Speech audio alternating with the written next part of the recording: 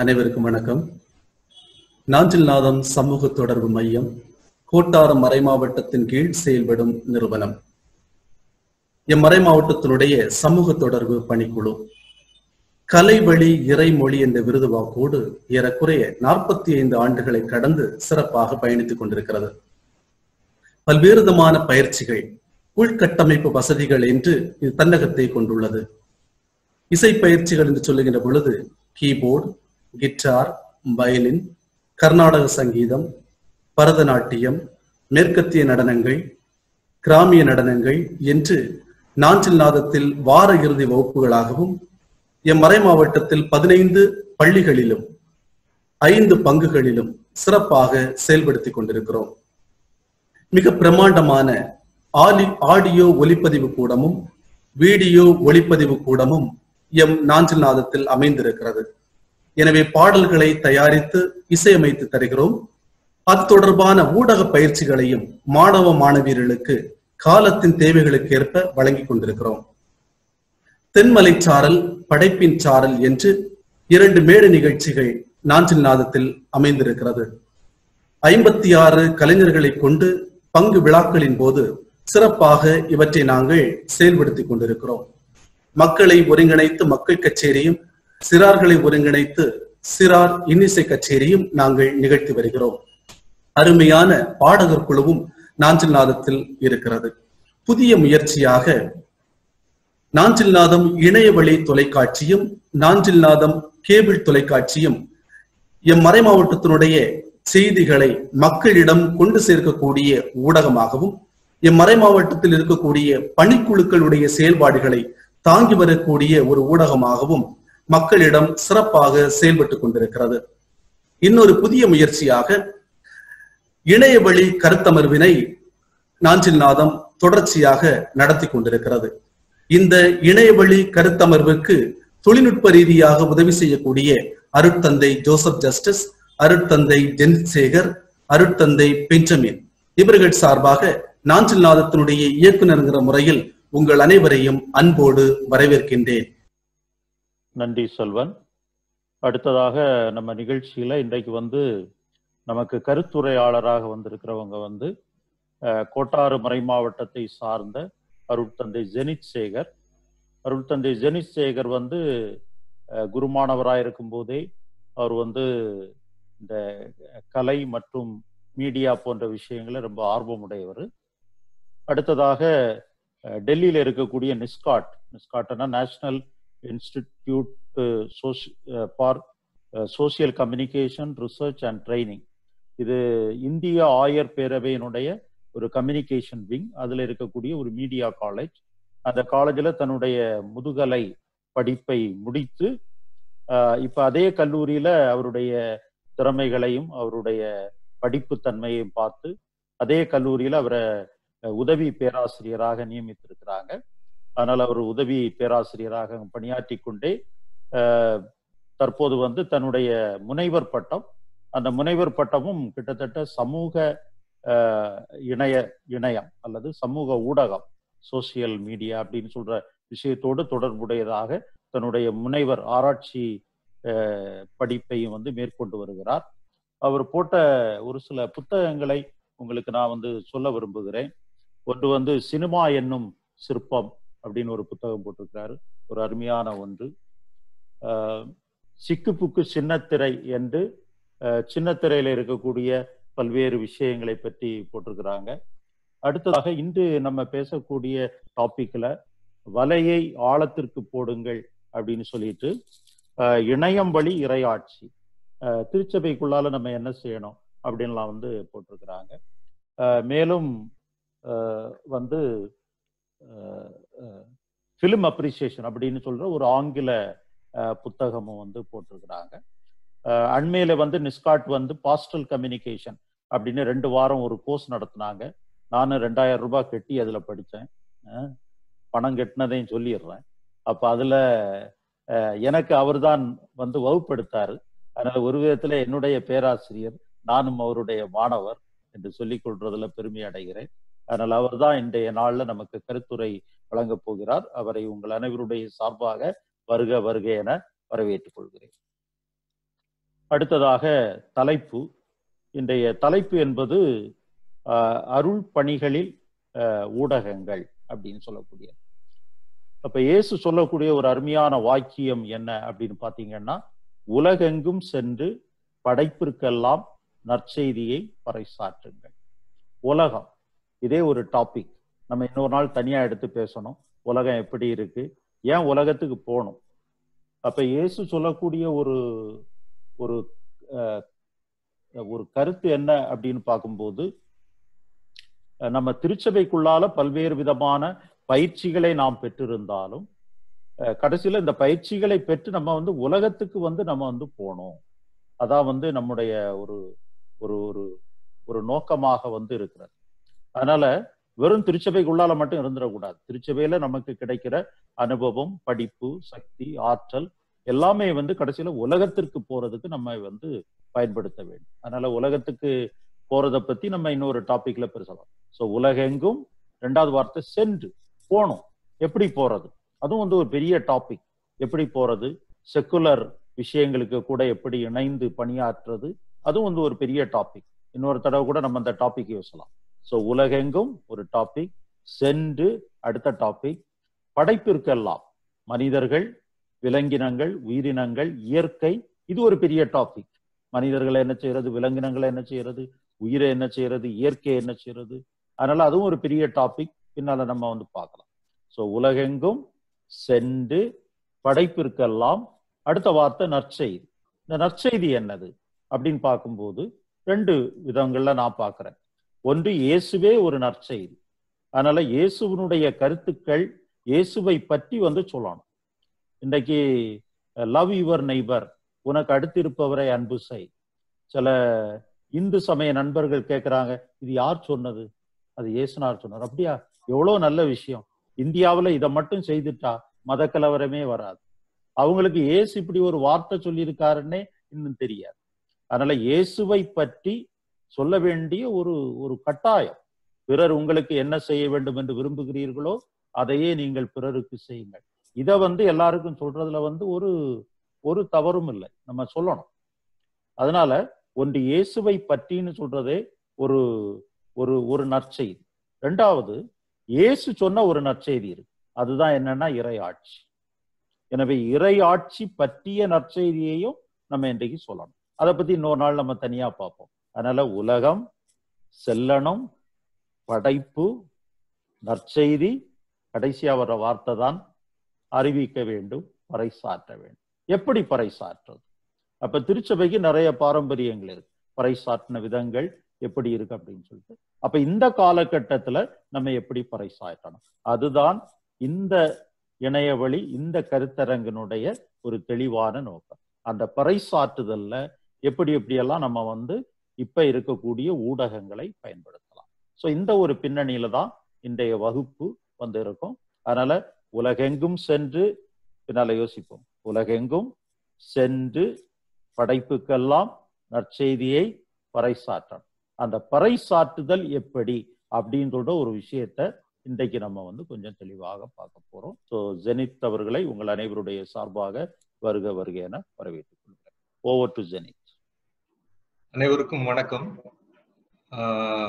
இந்த இணையம் வழி கருத்தமர்வை மிக அழகாக முன்னெடுத்துகின்ற நாஜிநாத்துடைய இயக்குனர் செல்வன் அவர்களுக்கு வணக்கம். அழகான ஒரு முகவுரை ஒரு முன்னுரை தந்த அருள் பணியாளர் ஜோசப் ஜஸ்டஸ். நான் மைனர் செமினரி ஃபர்ஸ்ட் இயர் எல்லாம் செகண்ட் இயர் பண்ணும்போது அங்க வந்து இயேசுனுடைய ஆளுமை அல்லது இயேசுனுடைய தலைமைத்துவம் அப்படிங்கிறத அவர் தலைப்புல கம்யூனிகேஷன் பத்தி பாடம் எடுத்து எடுத்தாரு. அவ அதை கேட்டுட்டே இருக்கணும் அப்படிங்கிற ஒரு அவருடைய பேச்சு அந்த ஆற்றல் அப்படிங்கிறது கேட்டுக்கொண்டே இருக்க வேண்டும் என்று ஒரு ஆர்வத்தை ஏற்படுத்தியது. அதுதான் ஒருவேளை உந்தி தள்ளியது போல தோன்றுகிறது. எனவே அவர் இந்த ஒரு முகவுரையை தந்தமைக்கு மிகுந்த நன்றி. தந்தை அவர்கள் சொன்னது போல அவருடைய ஒரு முகவுரையில கேட்டது போல படைப்பிற்கெல்லாம் சென் நற்செய்தி அறிவியுங்கள் அப்படிங்கிற ஒரு அழகான ஒரு வாக்கியத்தை நம்ம முன்னுரையாக கொண்டு எப்படி இந்த நற்செய்தியை ஊடகங்கள் வழியாக நம்ம அறிவிக்க முடியும் அப்படிங்கிறத இன்றைய காலகட்டத்தில் என்னென்ன ஊடகங்கள் இருக்கிறது என்னென்ன வாய்ப்புகள் அமைகிறது அப்படிங்கிறத நம்ம தெரிந்து கொண்டோம் என்றாலே சிறப்பான ஒரு அஹ், அருள் பணிகளை நம்முடைய பங்கு தளங்களில் நாம் ஆற்ற முடியும் என்பதுல மாற்று கருத்து இல்லை. தொடக்கத்துல நம்ம ஊடகத்தை பற்றி இன்று அதிகமாக பேசினால் கூட தொடக்கத்தில இருந்தே விவிலிய காலகட்டத்தில் இருந்தே ஊடகங்கள் மிக அழகான பணியை இறைவனுடைய வார்த்தைகளை இன்னொரு மக்கள் அடுத்த மக்களுக்கு எடுத்து சொல்வதற்கு அது ஒரு ஊடகமாக ஒரு கருவியாக இருந்திருக்கிறது. அபகுக்கு புத்தகம் விவிலியத்துல. இரண்டாம் அதிகாரம் இரண்டாவது வசனத்துல நம்ம வாசிக்கிறோம். காட்சியை எழுதிவை விரைவாய் ஓடுகிறவனும் படிக்கும் வண்ணம் பலகையில் தெளிவாய் எழுது அப்படின்ட்டு நம்ம வாசிக்கிறோம். பலகை அப்படிங்கிறது அந்த காலகட்டத்துல ஒரு ஊடகமாக இருந்து மக்களுக்கு இறைவனுடைய செய்தியை எடுத்து சென்றிருக்கிறது. அதை ஒரு டாக்குமெண்டாக ஒரு ஆவணமாக அது அமைக்க உதவி செய்திருக்கிறது அப்படிங்கிறத பாக்குறோம் அது மட்டும் இல்லாமல் மண் பாண்டம் கற்கள் தோல் சுருள் ஓலைச்சுவடி இப்படி ஒவ்வொரு காலகட்டத்திலும் மக்கள் இறைவனுடைய குரலை இறைவனுடைய மன சான்றை அவர்களுடைய வாய்ப்புக்கு ஏற்ப சில ஊடகங்களை பயன்படுத்தி அறிவித்திருக்கிறார்கள் அப்படிங்கிறத நம்ம விவிலியத்தினுடைய ஆதாரத்திலிருந்து பார்க்கலாம்.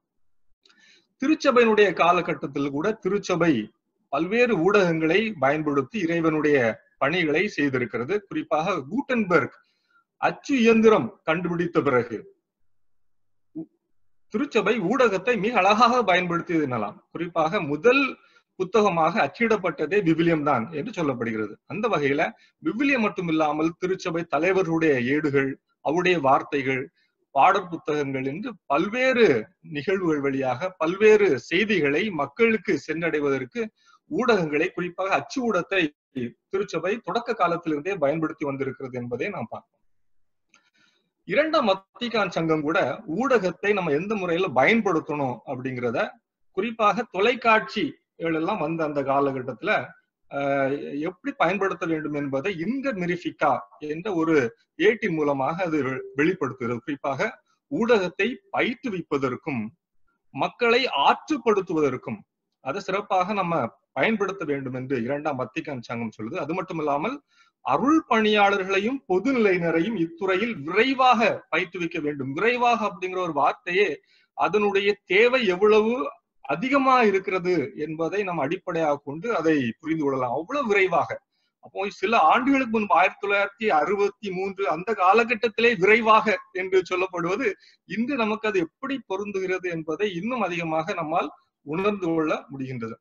அது மட்டும் இல்லாமல் இன்னும் சில சில ஏடுகள். ஒவ்வொரு காலகட்டத்திலையும் ஊடகங்கள் வளர்ச்சி அடைகிற வேளையில திருச்சபையினுடைய பங்கேற்பு எப்படி இருக்கணும் அப்படிங்கிறத ஒவ்வொரு காலகட்டத்திலையும் அது ஒவ்வொரு ஏட்டின் வழியாக திருச்சபை நமக்கு அறிவுறுத்துகிறது அப்படின்னு பாக்குறோம் ஆயிரத்தி தொள்ளாயிரத்தி எழுபத்தி ரெண்டுல கம்யூனோ எட் ப்ரொக்ரெசியோ அப்படிங்கிற ஒரு ஏடும் அயத்தாத்திஸ் நோவே என்ற ஒரு ஏடு ஆயிரத்தி தொள்ளாயிரத்தி தொண்ணூத்தி ரெண்டுல எப்படி மக்கள் பொதுநிலையினர் திருச்சபை மக்கள் பணியாற்றுவதற்கு ஊடகங்களை நல்ல முறையில் பயன்படுத்த முடியும் அப்படிங்கிற தெளிவுபடுத்து அது மட்டும் இல்லாம சொல்லுகிற போது ஊடகம் என்பது கடவுளுடைய கொடை. மிக அழகான கொடை.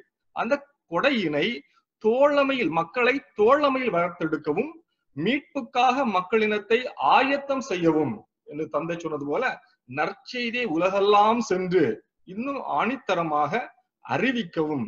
இந்த ஊடகத்தை மக்கள் திருச்சபையினர் பங்கு தளங்கள் அதிக அதிகமாக பயன்படுத்த வேண்டும் என்ற அறிவுறுத்தலை திருச்சபையே நமக்கு வழங்கி இருக்கிறது என்பதை இந்த ஏடின் வழியாக தெரிந்து கொள்ள முடிகிறது. அது மட்டும் இல்லாம சில அற்புதமான வார்த்தைகளை நமக்கு முன்னாடி இருந்த திருத்தந்தையர்கள் நமக்கு சொல்லி இருக்கிறாங்க குறிப்பாக திருத்தந்தை ஆறாம் பவுல் அவர்கள் சொல்லும்போது நவீன ஊடகங்களை மறை பரப்புக்காக பயன்படுத்த தவறினால். இது ஒரு விதமான ஒரு எச்சரிக்கை ஒலி போல இருக்கிறது. மறைப்பரப்புவதற்காக பயன்படுத்த தவறினால் திருச்சபை ஆண்டவரின் முன்பாக குற்ற உணர்வோடு நிற்க வேண்டியது வரும் அப்படிங்கிறது. அப்போ not to use media for evangelisation or even for conversion is sin அப்படிங்கிற மாதிரி ஒரு அற்புதமான ஒரு அஹ், வார்த்தையை நமக்கு சொல்லியிருக்கிறாங்க. எனவே ஊடகத்தை பயன்படுத்தாமல் அது கொடை என்று கண்டு கொண கண்டு கொணராமல் இருத்தல் என்பதே பாவம் அப்படிங்கிற ஒரு பொருளை நாம் இதன் மூலமாக அறிந்து கொள்ள முடியும். எனவே இது ஒரு எச்சரிக்கை மணியாக நம்முடைய கிறிஸ்தவர்களுக்கு அது அமைந்திருக்குது. திருத்தந்த இரண்டாம் ஜான் பால் சொல்லும்போது சொல்வார் இணையம் நற்செய்தி அறிவிப்புக்கான ஒரு புதிய தளம் அவர் அடுத்த ஒரு பரிமாணம் இணையம் ஜான் பால் அவர்கள் வாழ்ந்த காலகட்டம் நமக்கு தெரியும். அப்பதான் இணையம் தொடக்க காலகட்டத்தில் இருந்தது. அந்த காலகட்டத்திலே அவர் சொல்லியிருக்கிறாரு நற்செய்தி அறிவிப்பான அடுத்த தளம் என்பது இணையம்தான்.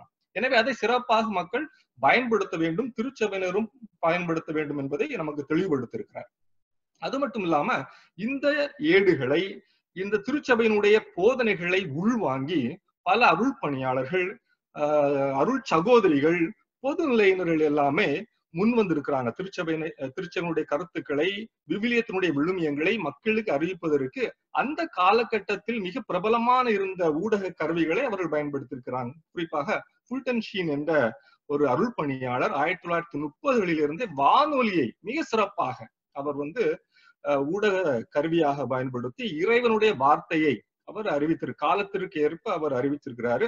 அவர் ஆயிரான பிறகு கூட அந்த காலகட்டத்துல தொலைக்காட்சி அதிகமாக வந்த காலகட்டத்தில் கூட தொலைக்காட்சி வழியாக தன்னுடைய மறைவுரை வழியாக அவர் வந்து திருச்சபைக்கு பணியாற்றி இருக்கிறார் அருள் பணியாற்றி இருக்கிறார் என்பதை நாம் பார்க்கிறோம். குறிப்பாக சொல்ல வேண்டிய ஒரு அருள் சகோதரி இருக்கிறாங்க நிறைய அருள் சகோதரிகள் கூட இந்த கருத்தரங்களை பங்கெடுத்திருக்கிறாங்க. மதர் அஞ்சலிகா அப்படிங்கிற ஒரு அருள் சகோதரி ஆயிரத்தி தொள்ளாயிரத்தி எண்பத்தி ஒன்றுகளில் இடபிள்யூபிஎன் இடபிள்யூபிஎன்னா எக்ஸ்டர்னல் வேர்ல்ட் டெலிவிஷன் நெட்ஒர்க் அப்படிங்கிற ஒரு தொலைக்காட்சி சேவையை அவர்கள் ஒரு தனி அருள் சகோதரியாக இருந்து உங்களுக்கு தெரியும் அருள் சகோதரிகள் அந்த எண்பது காலகட்டத்துல எத்தகைய ஒரு நிலையில் இருந்திருப்பாங்க. ஆனால் அருள் சகோதரியா அருள் சகோதரியாக இருந்து கொண்டு ஊடகத்தை கையில் எடுத்து அமெரிக்காவில மிக சிறப்பான ஒரு பணியாற்றுகிறார். அது மட்டும் இல்லாமல் இன்று அந்த தொலைக்காட்சி என்பது நூத்தி இருபத்தி ஏழு நாடுகளை கடந்து அது ஒளிபரப்பாக இருக்கிறது. சில ஆண்டுகளுக்கு முன்பாக மாதா டிவியில ஒரு பயிற்சிக்காக சென்றிருந்தேன். ஒரு ஒரு பத்து நாட்கள் அங்கு தங்கி அவரோடு எப்படி செயல்படுகிறார்கள் என்பதை அறிவதற்காக கற்றுக்கொள்வதற்காக சென்று கொண்டிருக்கும் போது சொன்னாங்க மாதா டிவி இன்கேஸ் அது வந்து ஒரு சமயம் தடைப்பட்டால் தடங்கள் ஏற்பட்டால் ஆட்டோமேட்டிக்காக இடபிள்யூடிஎன் தொலைக்காட்சி அதுல வந்து வரும் அப்படின்னு சொல்றாங்க. அவ்வளவு இருக்கு.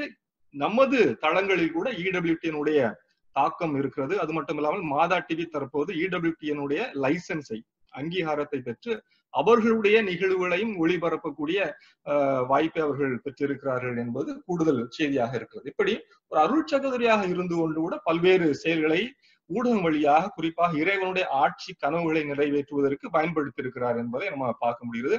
பல்வேறு விதமான அருள் பணியாளர்கள் பல்வேறு பல அருள் சகோதரிகள் பொது நிலையினர்கள் கூட இந்த ஊடகத்தை சிறப்பாக பயன்படுத்தி இருக்கிறாங்க சரி.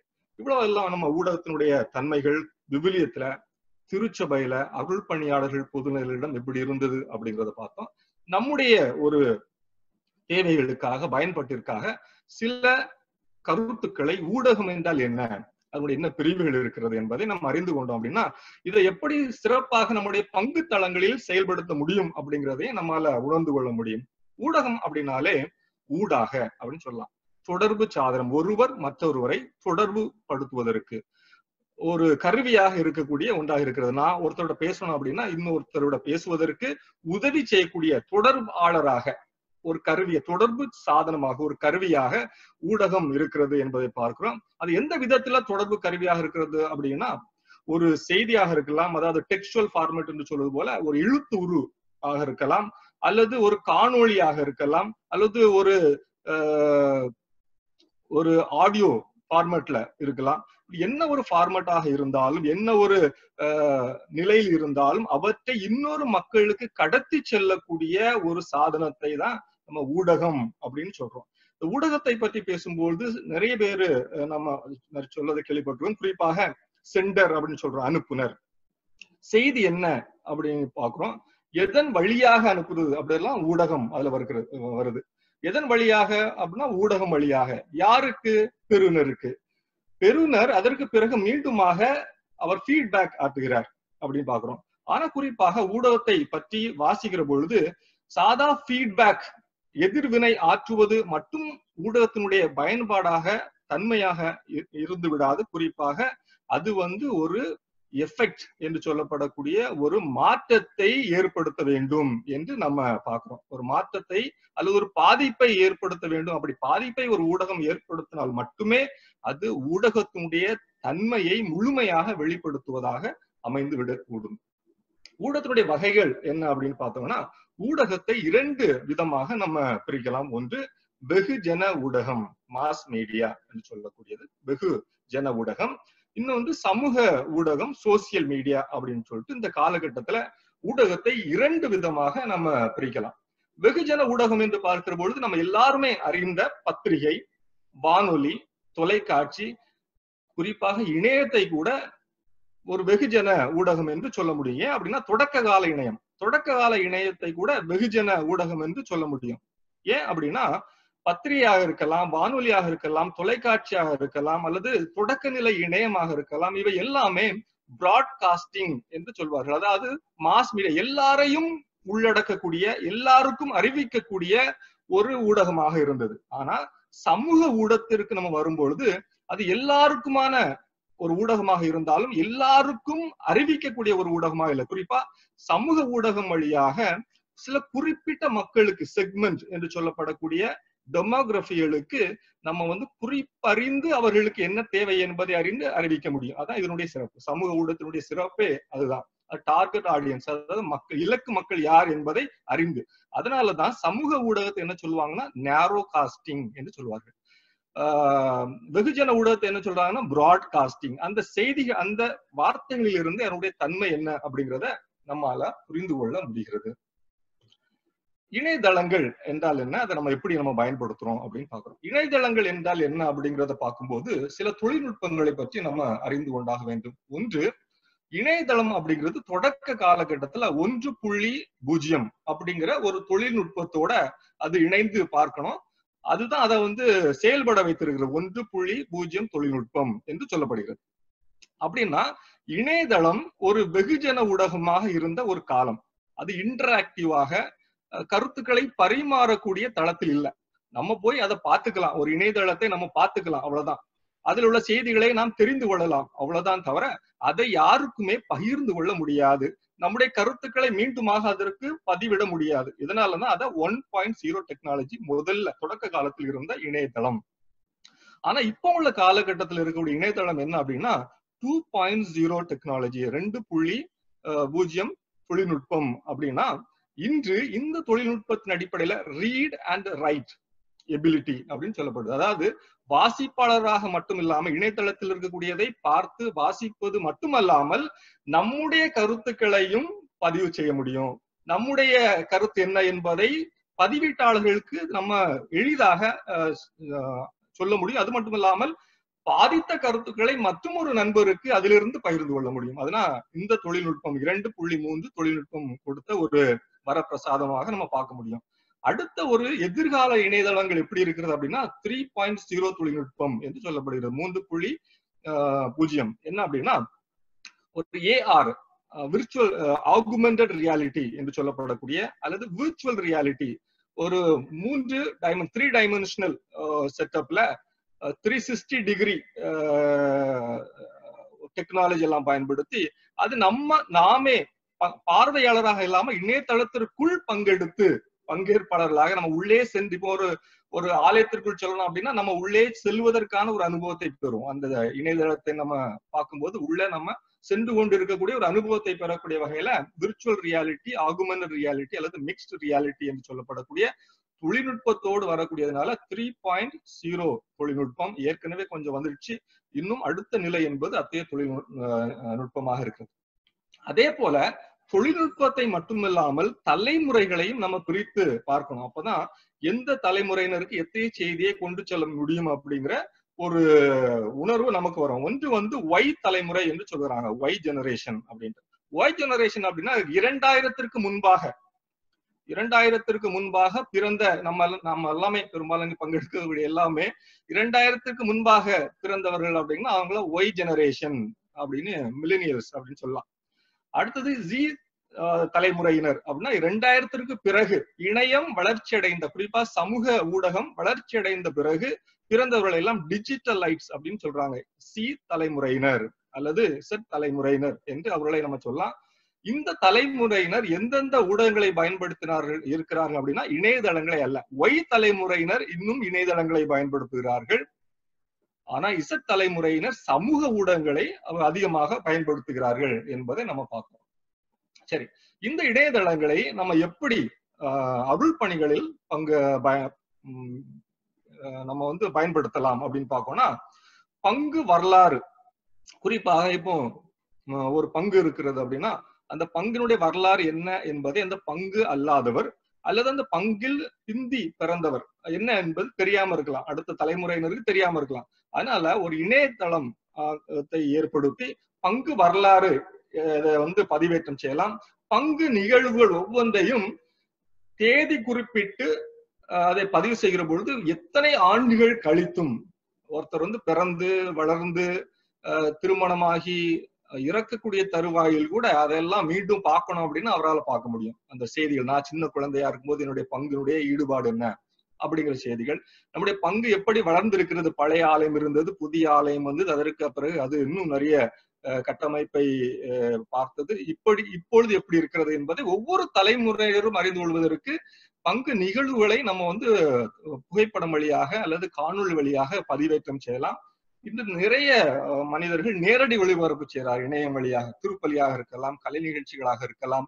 அல்லது இன்னும் பல்வேறு பங்குகள் முன்னெடுக்கக்கூடிய செயல்பாடுகளாக இருக்கலாம். இவற்றெல்லாம் நேரடியாக ஒளிபரப்பு செய்து இன்னும் மற்றவர்களுக்கு ஒரு ஒரு கிரியா ஊக்கியாக இருக்கக்கூடிய ஒரு வாய்ப்பை இணையதளம் வழியாக ஏற்படுத்த முடியும். புகைப்பட தொகுப்பு ஏற்கனவே சொல்லிட்டு அதே மாதிரி மறையுறை சிந்தனைகள் பங்கு தந்தையர்கள் மறையுறைகளை சிந்தனைகளாக அந்த ஒவ்வொரு ஞாயிற்றுக்கிழமைக்கு முன்பாக சனிக்கிழமையாக இருக்கலாம் அல்லது ஞாயிற்றுக்கிழமையாக இருக்கலாம் மறையுறை சிந்தனைகளை பதிவேற்றம் செய்யலாம். ஒரு பங்கு தந்தை இன்று ஒரு ஒரு டிஜிட்டல் காலகட்டத்துல ஒரு பங்கு அருள் பணியாளர் என்பவர் பங்கிற்கான அணி அருள் பணியாளர் மட்டுமே அல்ல. ஒரு பங்கு பணியாளர் இஸ் எ குளோபல் பாஸ்டர் இன்னைக்கு வந்து அவர் ஒரு உலகளாவிய ஒரு அருள் பணியாளராக இருப்பதற்கான வாய்ப்பு இருக்கிறது. அதனால் பங்குக்குள்ளாக மட்டும் அருள் பணி என்பது தாண்டி இணையம் என்று- என்ற ஒரு கருவியை பயன்படுத்தி இன்று வந்து உலக மக்களுக்கெல்லாம் அதான் அருள் பணிகள் அதான் சொன்னது போல உலகெல்லாம் சென்று செல்ல அவசியம் இல்லை. அவங்க செய்தி செல்லுது. உலகெல்லாம் சென்று அப்படின்னாலே இன்று அழகான ஒரு கருவியை கடவுள் கொடையாக தந்திருக்கிறார். அந்த கொடை வழியாக உலகெல்லாம் அந்த அறிவிப்பை சிறப்பாக நம்ம செய்ய முடியும். நான் தமிழ்ல பதிவேற்றம் செய்தா கூட ஸ்பெயின்ல இருக்க ஒரு ஆளு ஸ்பானிஷ்ல அத கூகுள் டிரான்ஸ்லேட் வழியாக டிரான்ஸ்லேட் பண்ணி கூட படிப்பதற்கான வாய்ப்பு இன்னைக்கு இருக்கு அப்படிங்கிறத நம்ம பார்க்கலாம். அதனால ஒரு சாதாரண பங்கு பணியாளர் பங்கு மக்களுக்கான பண் அருள் பணி மட்டுமல்லாமல் இன்று உலக பணியாளராக இருப்பதற்கு கூட இந்த வாய்ப்பு இருக்கிறது அதுவும் இந்த இணையம் அது ஏற்படுத்தி தந்திருக்கிறது பார்க்கலாம். அது மட்டும் இல்லாம அறிவிப்புகள் அறிக்கைகள் இவற்றையெல்லாம் கூட ஆஹ், இணையதளங்களிலே நம்ம வந்து சுமந்து செல்ல முடியும். அருள் பணிகளில் மென்பொருள் ஆஹ், குறிப்பாக நான் இருந்த ஒரு பங்குல இ சர்ச் அப்படின்ட்டு அந்த மறை மாவட்டத்தில் முதல் இ சர்ச் வந்து அறிவிப்பு கொடுத்து பெரிய விழாவா எல்லாம் வைத்து அதை சிறப்பாக தொடங்கி வைத்தோம். அப்போ அப்போ ஏற்கனவே சலேஷியன்ஸ் அவங்க வந்து அழகான கிறிஸ்டோ அப்படின்ட்டு ஒரு மென்பொருளை பாஸ்டல் மேனேஜ்மெண்ட் அப்படின்னு சொல்லிட்டு அவர்கள் வடிவமைத்து இருக்கிறாங்க இன்னும் நிறைய இப்போ கோட்டார் மறை மாவட்டம் இருக்கலாம் குளித்துறை மறை மாவட்டம் இருக்கலாம் அங்கே சில பொதுநிலையினர் கூட இந்த சாஃப்ட்வேர்ஸ் வச்சிருக்கிறாங்க. அவங்கள்ட்ட வந்து நம்ம வந்து வாங்கி கொள்ள முடியும்.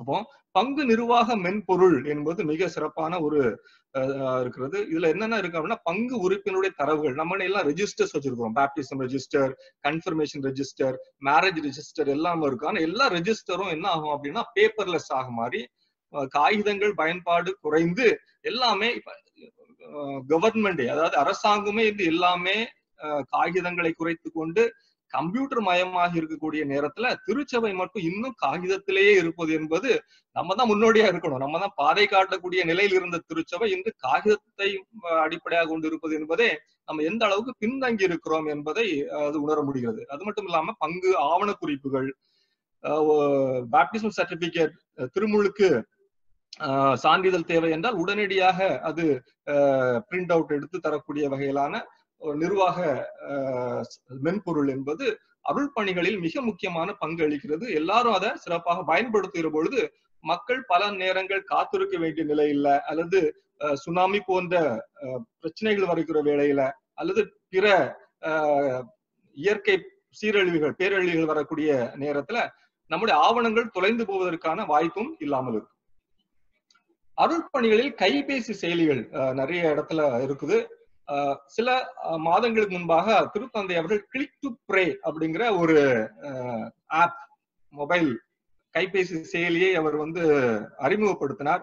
அதுல என்ன ஒரு சிறப்பு அப்படின்னா யாருடைய இன்டென்ஷன் தேவைகளையும் கருத்துக்களையும் அதெல்லாம் பதிவிடலாம். என்னுடைய சகோதரர் நோயிட்டு இருக்கிறார் அப்படிங்கிற செய்தியை அதுல போட்டோம் அப்படின்னா திருத்தந்தை மட்டுமல்லாமல் யாரெல்லாம் அந்த செய்தியை பார்க்கிறாங்களோ எல்லாரும் அதுக்காக ஜெபம் பண்றாங்க. உலகமே ஒரு கருத்துக்காக இன்று ஜெபம் செய்யக்கூடிய ஒரு அழகான ஒரு செயலியை திருத்தந்தை அவர்கள் உருவாக்கி வெளிப்பட்டிருக்கிறாங்க அதே செயலியை போன்ற மாதிரிகைகளை நமது பங்குகள் இருக்கக்கூடிய ஐடி விங் வைத்து இளைஞர்களை வைத்து கூட நம்மால் உருவாக்க முடியும். பங்குகளுக்கு தேவைக்கு ஏற்ப அதை பயன்படுத்த முடியும் அப்படிங்கிறதை நம்ம பாக்குறோம் இது நிறைய செயலிகள் இருக்கிறது. பாத்தீங்கன்னா பைபிள் விபிலியத்தை மொபைல்ல நம்ம பார்க்க முடியும்.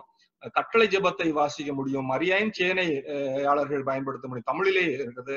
பைபிள் டைரி என்று சொல்லக்கூடக்கூடியத நிறை நிறைய கைபேசி செயலிகள் இருக்கிறது. நம்முடைய பங்கு தளங்களிலும் நம்ம அதற்கான செயலியை கட்டமைத்து உருவாக்கி பங்கு மக்களுடைய தேவைகளுக்கு அதை நம்ம செயல்படுத்த சொல்லலாம். சரி. இப்போ சமூக ஊடகம் அப்படின்னா என்னன்னு பாக்குறோம் இப்ப இணையம் பார்த்தோம். இணைய தளங்களை எப்படி பயன்படுத்தலாம் அப்படின்னு பார்த்தோம். அடுத்து சமூக ஊடகங்களை எப்படி பயன்படுத்தலாம் அப்படின்னு பார்த்தோம். ஏற்கனவே அந்த தொழில்நுட்பத்தை பற்றிய சொல்லிட்டோம். அப்ப இரண்டு புள்ளி ஜீரோ தொழில்நுட்பம் தான் சமூக ஊடகங்களை இயக்குகிறது. அதனா இன்டராக்டிவ் அது வந்து கருத்துக்களை பரிமாறுவதற்கு ஃபீட்பேக் கொடுப்பதற்கு. என்னுடைய எனக்கு ஏற்படுத்த பாதிப்பு என்ன என்பதை மறுபடியும் அந்த நபருக்கு யார் பதிவு செய்தார்களோ அவர்கள் தெரியப்படுத்துவதற்கு நாம் சமூக ஊடகங்களை பயன்படுத்தலாம். இணைய வசதியினை பயன்படுத்தி நண்பர்கள் குடும்பத்தார் மற்றும் உபகாரிகளை தொடர்பு கொள்ளவும் செய்திகளை பகிர்ந்து கொள்ளவும் உதவு உதவும் இணையதளமே சமூக ஊடகம் என்று அதை வரையறை செய்யலாம். சரி. என்னென்ன வகைகள் இருக்கிறது? இதை குறிப்பா தெரிஞ்சுக்கணும். நிறைய பேருக்கு தெரியும். சில பேருக்கு தெரியாம இருக்கலாம். அதை எப்படி பங்கு பணிகளுக்கு உதவி பயன்படுத்தலாம் அப்படின்னு பார்க்கலாம்.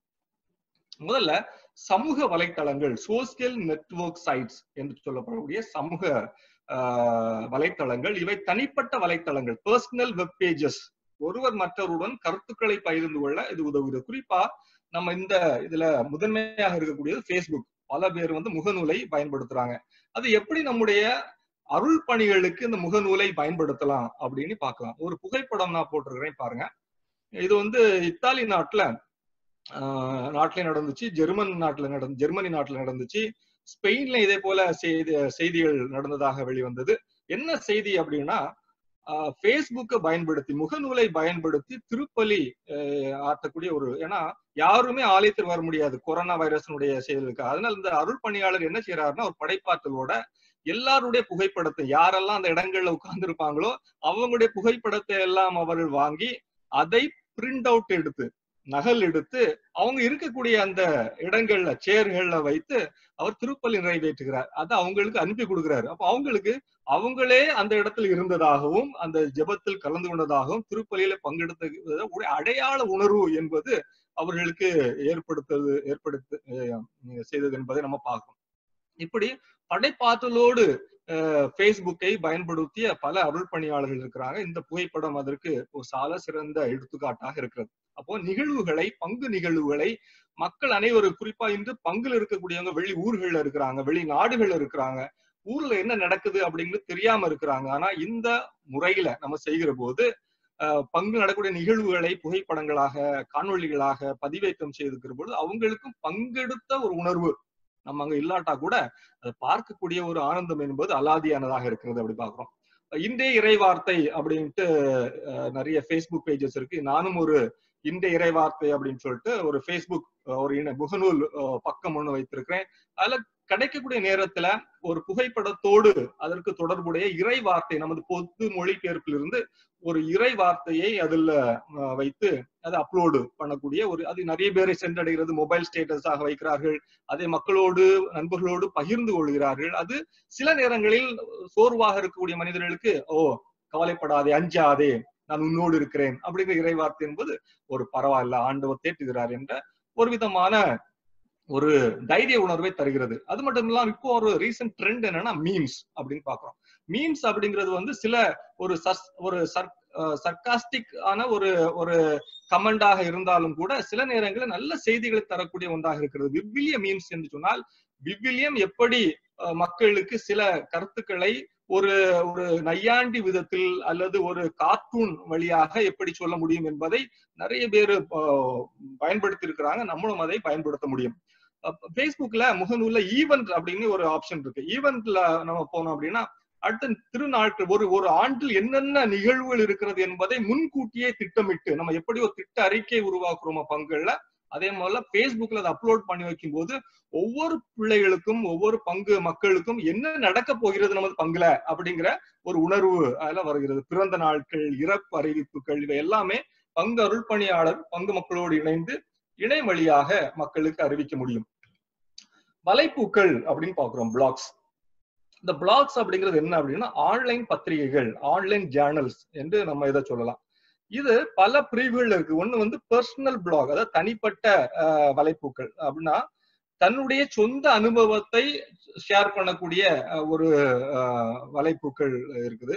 விருப்பம் சார்ந்த என்னுடைய விருப்பம் சார்ந்த இன்ட்ரெஸ்ட் ஓரியன்ட் நான் போட்டோகிராஃபில ரொம்ப நாட்டம் இருக்கு அப்படின்னா என்னுடைய புகைப்படங்களை அல்லது நான் எடுத்த புகைப்படங்களை அதுல அதுல போட்டு வைப்பேன் அப்படிங்கிறது. வணிகம் நோக்கம் உள்ள என்னுடைய வணிகத்தை மேம்படுத்துவதற்காக பயன்படுத்துவதற்கு அரசியல் தொடர்புடைய கருத்துக்களை பதிவேற்றுவதற்கு சில பிரதான ஊடகங்கள் கூட இந்த பிளாக்ஸை அல்லது வலைப்புகளை பயன்படுத்துறாங்க. இதை எப்படி நம்ம பங்கினுடைய அருள் பணிக்கு பயன்படுத்தலாம் அப்படின்னு பார்த்தோம் அப்படின்னா எல்லா பக்த சபை இயக்கங்கள் அன்பியங்கள்லாம் அறிவி அறிக்கை எழுத வேண்டிய ஒரு சூழ்நிலை இருக்குது. அறிக்கை அவர் புத்தகத்தில் எழுதுறாங்க. ஆனா சில பேர் அந்த இயக்கங்களுக்கு வந்திருப்பாங்க. சில பேர் வந் வந்துட முடியாம இருந்திருக்கும். சில பேர் வெளிநாடுகள்ல இருந்திருப்பாங்க. முன்னாள் உறுப்பினர்களா இருந்திருப்பாங்க. அத இந்த மாதிரி வலைப்பூக்களை உருவாக்கி பக்த சபை இயக்க அறிக்கைகளை பதிவேற்றம் செய்யலாம் தொடர்ந்து. அப்ப அதுல கமெண்ட் வரும் அதுல ரிப்ளை வரும் அதை மற்றவர்களும் பகிர்ந்து கொள்ளலாம். இதை பார்த்து பரவாயில்லையே இந்த இயக்கம் இவ்வளவு அழகா செய்யறாங்களே அவங்கள பார்த்து நம்மளும் இதே போன்ற காரியங்களை செயல்களை நம்முடைய பங்கு பணிகளை செய்யலாமே அப்படின்னு மற்றவர்களுக்கும் ஒரு வாய்ப்பாக அது அமைய முடியும். அது மட்டும் இல்லாமல் அந்த பக்த சேவை இயக்கங்களோடு நடக்கக்கூடிய நிகழ்வுகளை கூட மற்றவர்கள் தெரிந்து கொள்வதற்கு அதை அவர்கள் பயன்படுத்தலாம்.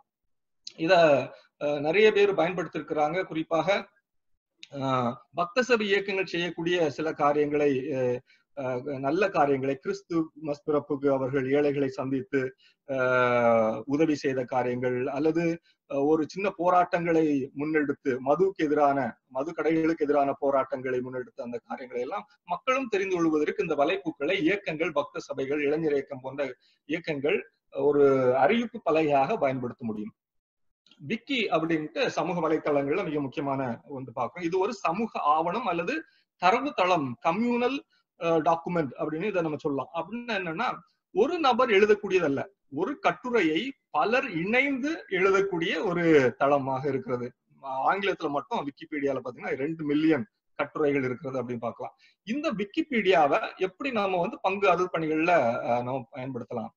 பாத்தீங்கன்னா பங்கினுடைய வரலாறு பங்கு மக்களுடைய தொகை பங்கு மக்கள் நிலவரம் பங்கின் தனித்துவம் இவற்றையெல்லாம் இத நம்ம அப்லோட் பண்ணலாம். அது மட்டும் இல்ல வழித்தடங்கள் லொக்கேஷன்ஸ் இவற்றையெல்லாம் கூட இந்த பங்கு பணியுடைய சார்ந்த தகவல்களை விக்கிபீடியாவில் பதிவேற்ற முடியும் இப்போ டைசிஸுடைய கோட்டார் மறை மாவட்டம் இருந்தால் அதோட கோட்டார் மறை மாவட்டம் விக்கிபீடியாவில் இருக்குதா அப்படின்னு பார்க்கணும். உள்துறை மறை மாவட்டம் அதில் இருக்குதா? தூத்துக்குடி மறை மாவட்டம் ஒவ்வொரு மறை மாவட்டத்திற்கான வரலாறு. அதே மாதிரி பங்கினுடைய வரலாறு பங்கு பணியாளர்கள் யாரெல்லாம் இருந்திருக்கிறாங்க? என்னென்ன செயல்பாடுகள் இருக்குது அப்படின்னு சொல்லும்போது ஏன் இதெல்லாம் அறிவிக்கணும்? ஏன் இதெல்லாம் சொல்லணும்? அப்படின்னு சொல்லும்போது ஒருவரை பார்த்து மற்றொருவரும் அதே போன்ற பணிகளை நல்லது என்றால் அந்த பணிகளை அவர்களுடைய பங்கு தளங்களில் அதை செயல்படுத்த ஒரு வாய்ப்பாக அமையும் அப்படின்னு பார்க்கலாம். சரி வானொலி அல்லது வலையொலி பாட்காஸ்ட் இணைய வானொலி வலையொலி என்று இதை நம்ம மொழிபெயர்க்கலாம். இவை ஒலி கோப்புகள் சந்தா செலுத்தி அதாவது சில சப்ஸ்கிரிப்ஷன் செலுத்தி இந்த சேவையை நம்ம பயன்படுத்தலாம். இணைய வானொலி. நான் பிலிப்பைன்ஸ் நாட்டிற்கு ஒரு ரேடியோ கருத்தமர்வுக்காக நான் சென்றிருந்த போது அங்கு பாத்தீங்கன்னா வானொலியுடைய பயன்பாடு என்பது அதிக அதிகமாக இருக்கிறது. கம்யூனிட்டி ரேடியோ இருக்கலாம் இல்லது பெரிய எஃப்எம் ரேடியோ இருக்கலாம் அல்லது இணைய வழி ரேடியோ அதாவது வலையொலியாக இருக்கலாம். சாதாரண ஒரு பங்கு ஒரு இணைய வானொலியை வைத்திருக்கிறது. அது எப்பவுமே இருபத்தி நாலு மணி மணி நேரமும் பங்கு தொடர்புடைய பங்கு மக்களுடைய கருத்துக்களை பங்கு மக்களே உருவாக்கக்கூடிய கருத்துக்களை அது வந்து வார்த்தையாக ஒலியாக அறிவிக்கின்ற மிக அழகான ஒரு பணியை செய்து வருகிறது. நம்ம மக்கள் எல்லாரும் பாத்தீங்கன்னா வீடுகள வேலை செஞ்சுட்டு இருப்பாங்க. ஆனா அந்த எஃப்எம் அதாவது இந்த வலையொலி பாட்காஸ்ட பங்கு சார்பாக என் பிள்ளை பாடுது என்னுடைய வீட்டுக்காரர் ஒரு சொற்பொழி தர்றாரு நான் பாடுகிறேன் அப்படிங்கிற ஒரு செயல் வருகிற பொழுது மக்களுக்கு அது பெருமையும் தன்னுடைய திறமைகளை அவர்கள் அறிந்து கொள்ளவும் அது மட்டும் இல்லாமல் வலையொலி என்பது அந்த பங்கிற்கான ஒரு வலையொலி மட்டுமல்ல உலகிற்கான ஒரு வலையொலி. எப்போ அது இணையத்தில் பதிவேற்றம் செய்யப்படுகிறதோ பங்கிரோடு நின்று விடாமல் இன்னொரு நாட்டில் இருப்பவர் கூட இந்த வலையொலியை அது தரக்கூடிய கருத்துக்களை அது கேட்க முடியும் அப்படிங்கிறது இன்னொரு கூடுதல் தகவலாக இருக்கு. பங்கில் வலையொலின்னு பார்க்கும்போது மறையுரைகள் அறிவிப்புகள் பாடல்கள் சொற்பொழிவுகள் பேட்டிகள் விவாதங்கள் நாடகங்கள் ஆஹ் அன்பிய பதிவுகள் அன்பியம் கூட்டு நடத்துற அதே பதிவு செய்து அப்படியே வலைவலியில நம்ம போட முடியும்.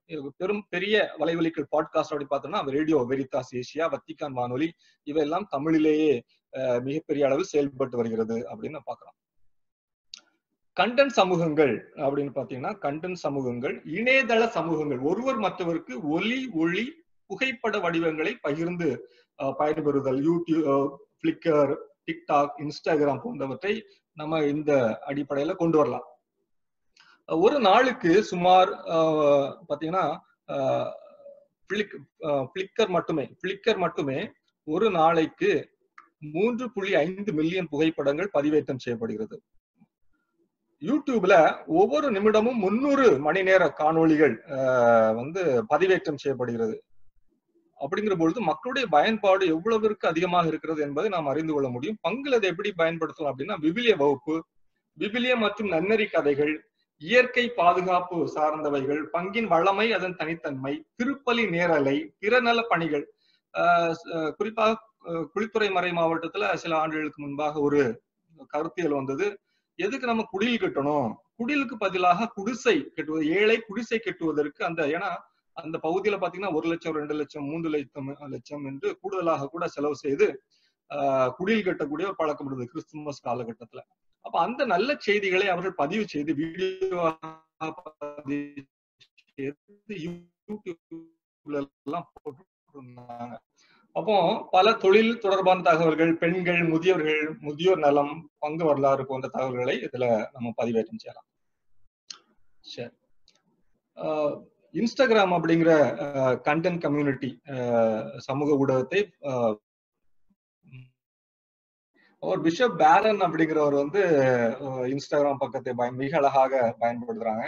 அவருடைய மறையுரைகள் அவருடைய சிந்தனைகள் இவற்றையெல்லாம் மிக அழகாக இன்ஸ்டாகிராம் பதிவு ஏன் இன்ஸ்டாகிராம பயன்படுத்தணும் அப்படின்னு சொன்னோம்னா இந்த இசட் ஜெனரேஷன் அப்படின்னு நான் சொல்லியிருந்தேன் தொடக்கத்துல. ரெண்டாயிரத்திற்கு பிறகு பிறந்தவர்கள். அவங்க எல்லாம் அதிகமா ஃபேஸ்புக்க தாண்டி இன்ஸ்டாகிராம்ல தான் அதிகமா இந்த காலகட்டத்துல ஸ்னாப் சாட் இன்ஸ்டாகிராம் இந்த இரண்டையும் தான் அவங்க அதிகமா பயன்படுத்துறாங்க. அப்ப இந்த தளங்களை இளைஞர்களை கவர அடோலசன்ட் அந்த டீனேஜர்ஸ் அப்படி சொல்லக்கூடிய அவர்கள் எல்லாமே பாத்தீங்கன்னா இந்த இன்ஸ்டாகிராம அதிகமா பயன்படுத்துறேன் அவர்களை தொடர் தொட வேண்டும் அப்படி அப்படின்னா அவங்களுடைய தளங்களில் நம்ம பயணிக்க வேண்டும். அருள் பணியாளர்களாக இருக்கலாம். புதுநிலராக இருக்கலாம் இறைவனுடைய செய்திகளை அதன் வழியாக நம்ம அவங்களுக்கு தெரிவிக்க முடியும் அப்படிங்கிறத நம்ம பார்க்கலாம் மைக்ரோ பிளாகிங் அப்படின்னு இருக்கு. குறுஞ்செய்தி. அதாவது ட்விட்டர் முன்பாக எல்லாம் ட்விட்டர்ல நூத்தி நாற்பது எழுத்துருக்களை நம்ம வந்து பதிவு செய்ய முடியும். ஆனா இப்போ என்ன ரெண்டாயிரத்தி பதினேழுல இருந்து இருநூத்தி எண்பது எழுத்துருக்களை நம்ம பதிவு செய்யலாம்.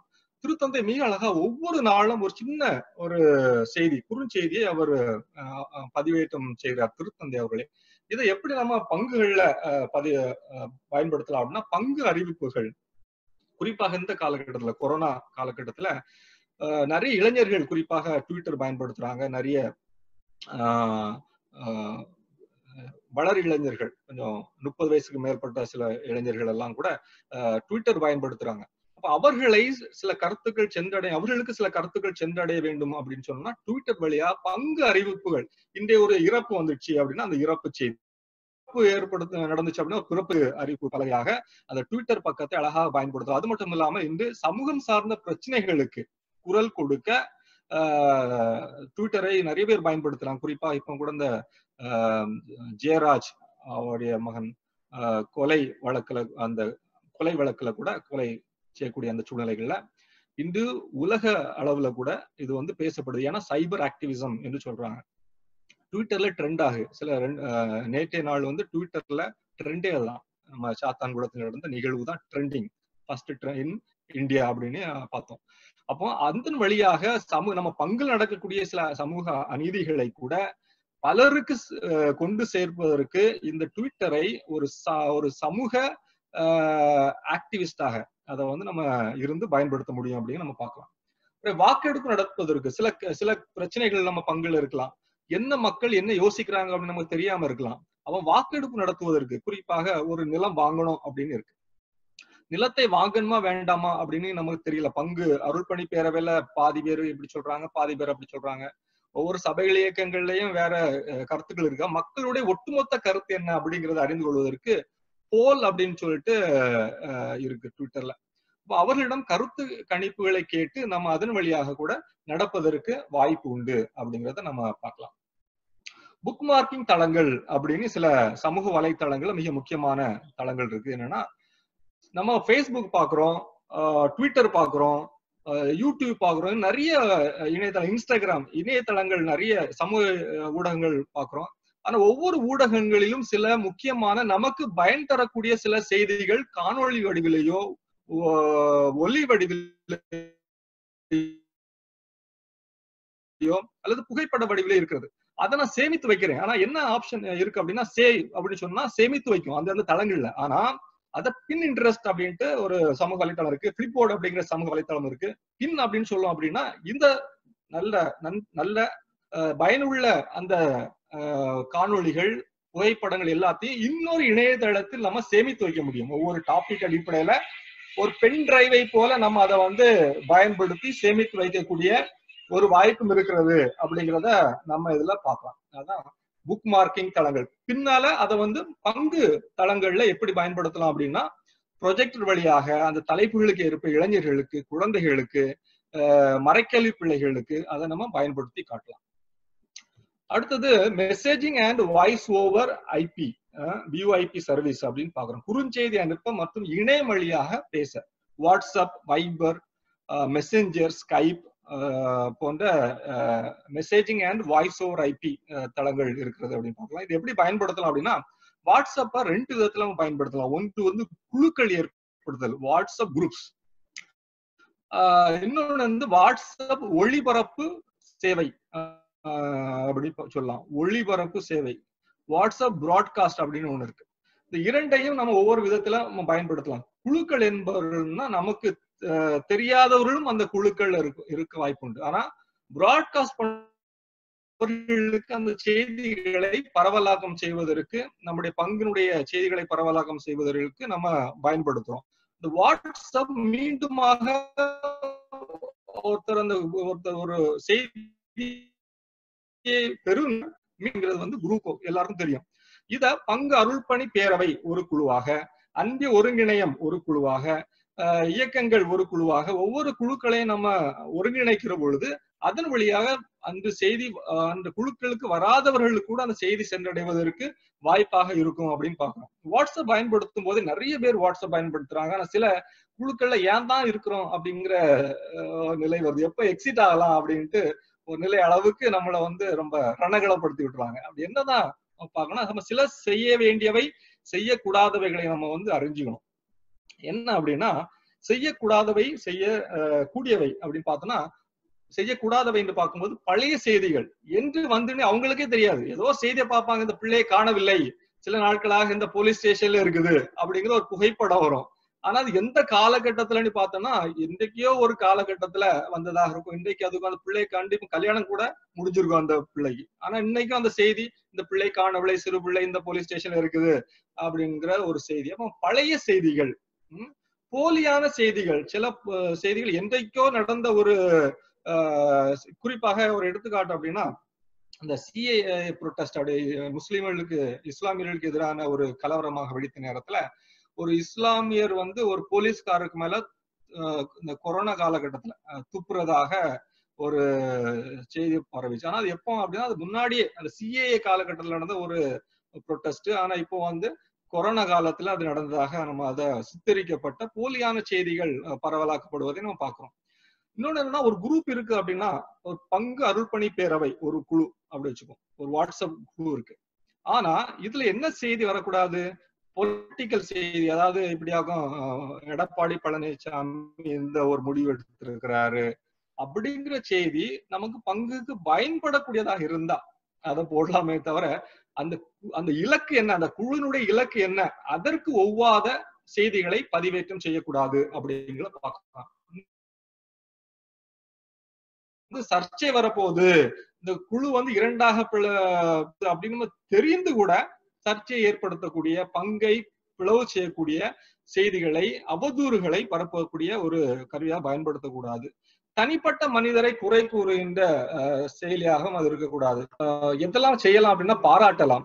சில பேர் சில நல்ல கருத்துக்களை போனா அது பாராட்டலாம் பகிரலாம். இப்ப இப்ப நாஜில்நாதன் ஒரு வீடியோ போடுறாங்க. அதை வந்து நல்ல கருத்து நல்ல கருத்தா இருக்கு. அருள்பணிக்கு தேவையான ஒன்றா இருக்கு அப்படின்னா அதை பகிரலாம். அதை பயன்பெறலாம் எப்படிங்கிற ஒரு செயல்களை செய்யலாம். சரி. இன்னொன்னு இப்போ புதுசாக ரொம்ப பிரபலமாகி வரக்கூடியன காணொளி கருத்தரங்குகள் அந்த சர்வீஸ் அப்படின்னு பாக்குறோம் ஒரு நேரத்தில் பலருடன் பேச கருத்துக்களை பரிமாற பல தளங்கள் இருக்குது இன்னைக்கு இணையம் வழியாக. குறிப்பாக வந்து Google Meet Microsoft Team Zoom வந்து அத்தகைய சேவையை செய்து வருகிறது அப்படின்னு நம்ம பார்க்கலாம். இதை எப்படி நம்முடைய பயன்பாட்டுக்கு அருள் பணிக்கு பயன்படுத்தலாம் அப்படின்னா என்னுடைய நண்பர் ஒருவர் எப்படி பயன்படுத்துறாரு? கொரோனா காலகட்டத்துல வெளிநாட்டில் இருக்கக்கூடியவங்க எல்லாம் பயத்துல இருந்தாங்க. அந்த கொஞ்சம் முன்பாக அமெரிக்காவுல இத்தாலியில துபாயில. அப்ப அவர்களை எல்லாம் ஒருங்கிணைத்து அவர்களை ஜூம் குழுக்களாக உருவாக்கி அவர்களுக்கு எல்லா ஞாயிற்றுகளும் திருப்பலி ஆன்லைன் திருப்பலி நிறைவேற்றி கொடுக்குறாரு. அவரோட பேசுறாரு. எப்படி இருக்கிறீங்க அப்படிங்கிற உரையாடுறாரு. அது அவர்களுக்கு ஒரு ஆரோக்கியத்தையும் ஒரு மன புத்துணர்வையும் தருவதாக அமைந்தது என்று நம்ம பார்க்கலாம்.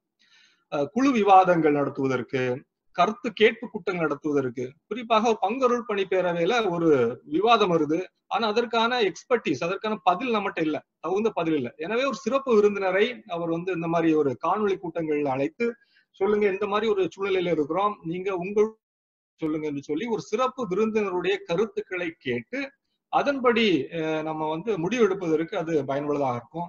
இந்த கொரோனா காலகட்டத்தில் யாருமே பக்கத்துல வர முடியாதுன்னு சொல்லக்கூடிய நேரத்துல அந்திய கூட்டங்கள் கூட இந்த காணொலி கூட்டங்கள் நம்ம இப்போ பேசி கொண்டிருப்பது போல ஒவ்வொரு கருத்துக்களை சோசியோகிரசி ஜோசப் ஜஸ்ட் சொல்றது போல சோசியோகிரசி பாணியில ஒருவர் பேச மற்றொருவர் அஹ், பேசக்கூடிய ஒரு பாணியை பயன்படுத்தி நம்ம சொல்லலாம்.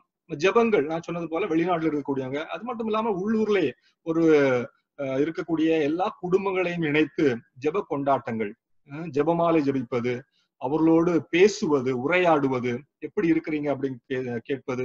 குறிப்பாக கொரோனா நோயாளிகள் இருந்தால் அவர்களோடு பேசுவது அவர்களுக்காக ஜெபிப்பது அப்படிங்கிற செயல்களை கூட இந்த காணொளி கூட்டங்கள் வழியாக செய்ய முடியும். அது மட்டும் இல்லாமல் மறைக்கலி வகுப்புகள்.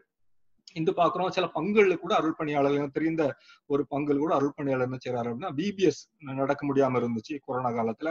அதனால ஒவ்வொரு அன்பியங்கள் வழியாக ஆஹ், மக்களை இணைத்து அந்த அன்பு நிர்வாகிகளை பயன்படுத்தி பிபிஎஸ் அந்த வீடுகள்ல இருந்தே பிள்ளைகளுக்கு ஆடல் பாடல் ஆஹ், விவிலிய கதைகள் எல்லாம் சொல்லி கொடுத்து அவர்களையும் பங்கே பங்கேற்க வைக்கக்கூடிய நிகழ்வுகள் எல்லாம் பல பங்குகள்ல பல பணியாளர்கள் செய்து வருகிறார்கள் என்பதை நம்ம பார்க்கிறோம். அதுக்கு பிறகு யூடியூப்ல அதை பதிவேற்றம் செய்யறாங்க சரி.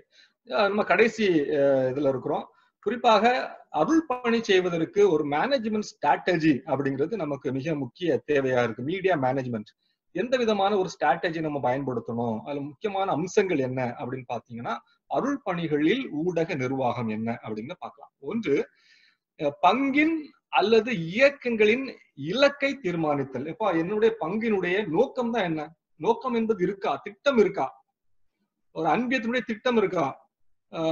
இலக்கு என்ன? எதை நோக்கி நம்ம சென்று கொண்டிருக்கிறோம்? தொண்டி தொண்டி அப்படின்னு சொல்லி நான் முன்னாடி இருந்த ஒரு பங்குல ஒரு திட்டம் போட்டோம். ஐந்து ஆண்டு கால திட்டம். தொண்டி தொண்டி இப்போ தொண்டி தொண்டி வந்துருச்சு. நிறைய திட்டங்கள் அங்க பணியாளர்கள் அழகா செய்து முடித்திருக்கிறாங்க.